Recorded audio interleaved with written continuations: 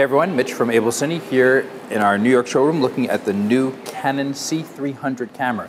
Canon really threw the industry for a loop when it came out with their, their terrific little HD SLR cameras that could shoot HD video, 1920 by 1080, on a physically very small camera with, importantly, a really large sensor. You have a Super 35 sensor on here, and that will give you a shallow depth of field look. You have the ability to get there with a large sensor being able to have a certain magnification and uh, that you can really isolate an image. You can have that object in focus and then have it drop off quickly in front of and behind that object so that you can sort of isolate it and give what people call a cinematic look. Because in the cinema, well, movies are generally shot in 35 millimeter, and so they use those same lenses, the same kind of projection, and well, it looks that way. But it might not be appropriate for everything you do perhaps you're doing a documentary and you're going to have people moving all over the place and you just want to be able to have a certain kind of depth of focus. You want to be able to have more things in the frame in focus all at once. That's just artistically uh, the look, creatively, the look that you want to go for.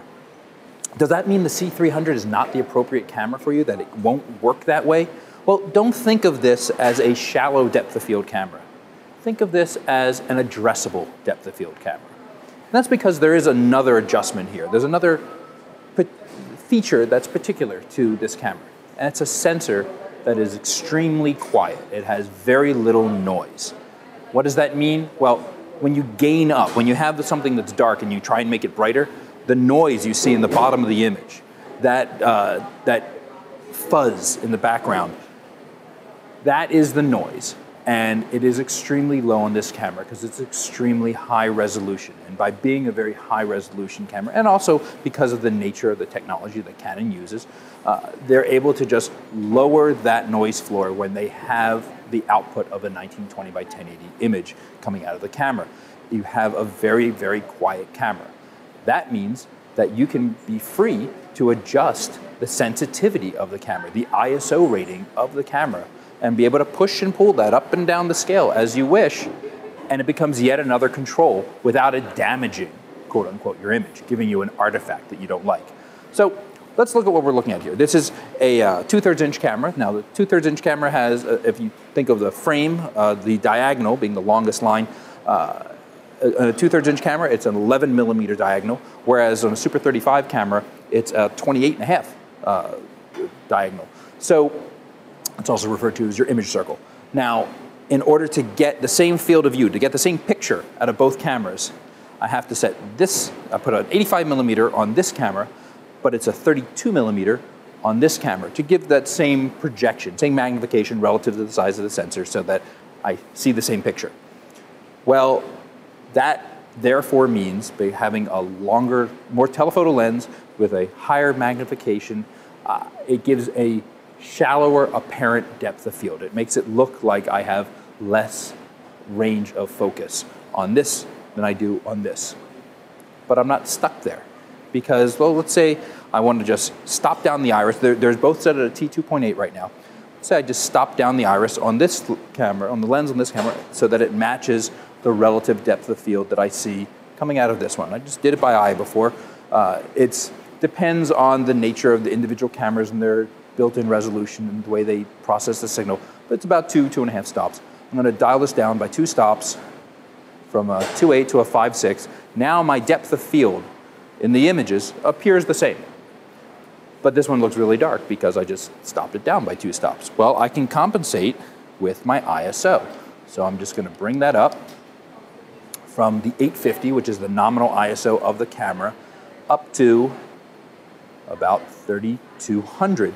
And that is going to give me now an image that's the same brightness that I saw before.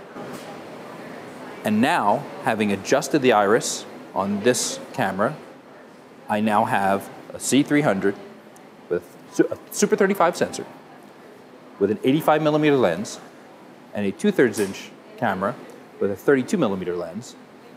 And the look of the image, the field of view and the depth of field are identical on this camera and this camera. Same machine, I was able to get the, this look. If I chose, I can go much further with it because I'm at 3200 ISO with no real noise. I can go much, much further. This camera actually goes up to 20,000 ISO. Now that's a pretty extreme range, but you do have a great range that you can just choose to adjust the sensitivity so that you can then choose to set your iris wherever you want for the look that you want to get out of your shot. You're not trapped anymore by, well, this is the sensitivity of the machine, so you now have to just bring in more light or change your exposure uh, on, the, on the lens. You don't, it's not, no longer the case. I have another tool, the ISO, that I can use to shift the nature of the image to control it the way I want it to look. I can go the other direction if I want. I can open up the iris really far to get the shallowest depth of field possible. This particular lens goes to a, an, uh, an f1.2. Now, I'm going to bring down the ISO a bunch. I could bring it all the way down to 320 ISO, uh, which gets me pretty close to where I was before. But I'm going to put it back to the 850 just because I am, because I'm going to show you yet another control you have built into the camera, which is ND. And ND is actually it's a little motorized device. You can see it flip in the, uh, the filter. And uh, on the ND level one, it's two stops. I also have two and three. It's four stops and six stops of ND. And at ND level one with two stops, I'm at the same basic brightness that I was at before.